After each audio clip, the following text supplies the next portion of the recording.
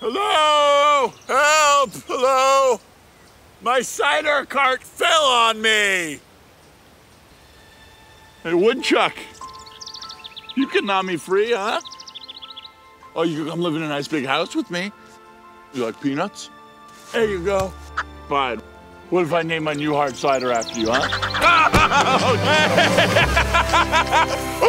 So the woodchuck gnaws the wagon and saves the cider master's life.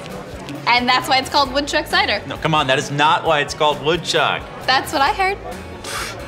It's not the name that matters, it's where your cider comes from.